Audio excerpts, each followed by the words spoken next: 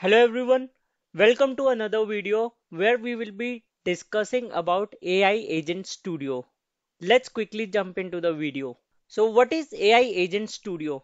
So this is a platform or you can say a module in ServiceNow where you can create, manage or test your AI agents and agentic workflows.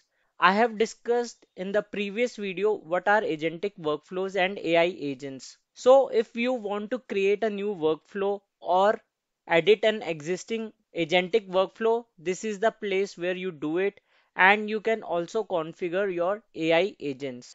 Now, if you want to start using agentic AI in your ServiceNow instance, you should have a ServiceNow Pro Plus license or Enterprise Plus license. And your instance should be on Xanadu patch 7 plus or Yokohama or later. And thirdly, in your ServiceNow instance, AI search should be enabled. One more thing, if you are logged in as admin, that's all right. But if you want to assign some developer a role just to look at agentic workflows and AI agents and manage them and create them, then you can directly assign them sn underscore AIA underscore admin role. And with this role, they would be able to do things only on AI Agent Studio. Now let's go into ServiceNow and see how this AI Agent Studio looks like. I'm in my ServiceNow instance and here I will type AI Agent Studio and you would see an application and below this there are a few modules of AI Agent Studio. Now let me click on all of these one by one. Let's click on overview. And in overview, you would be able to see some ready-made use cases and AI agents. Or you can say these are the AI agents or agentic workflows which are out of the box. For example, generate change request plans, steps for issue resolution, problem investigator, and so on. After this, you would see here the list of all the use cases and use cases means agentic workflows. If you remember from previous video, agentic workflows are the use cases you want to achieve. And here you can see all the AI agents which are there in your system out of the box. And whenever you will create a custom one, you would be able to see them here as well. After this, we can go to testing from here, clicking on this tab or you can click here as well. I will click on testing and here you would see a playground where you can actually go and test your AI agents as well as your agentic workflows. So you have to select an AI agent or your use case or your agentic workflow and then you can put in some text and test that. We will do it later in the next video. Then we will click on settings and here you would see now assist guardian. So this is for putting some guardrails around your agentic AI. The first one is offensiveness. Now if your agent or some end user is typing some offensive language that would be captured if this is switched on.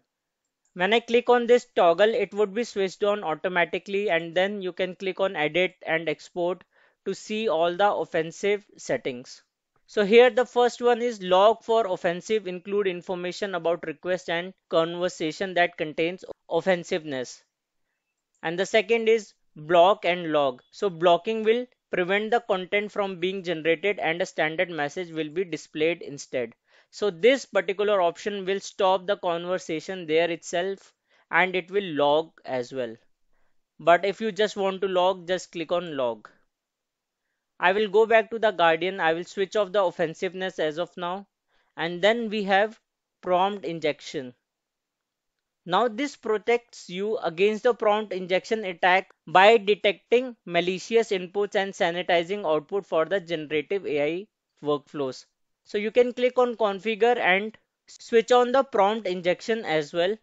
And when you switch it on again, you will have a couple of options when you click on edit and then it will ask you you just want to log or block and log similar to the first option. I will go back and I will just switch it off. And then we have analytics.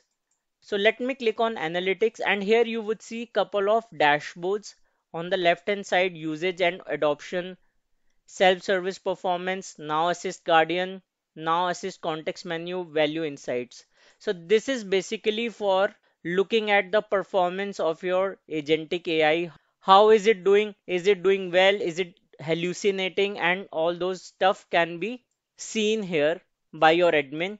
And then they can make an informed decision how to plan their next action.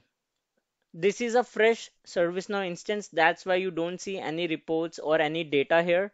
But if you will be looking at your ServiceNow instances, there would be some data if we are not using the now learning instance. Then we have usage and adoption.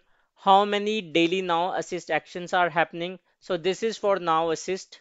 How many daily unique users are engaging with now assist and so on. So there are multiple reports to figure out how the adoption of now assist or generative AI is happening in your organization and AI agents as well. Now I would type AI Agent Studio here again.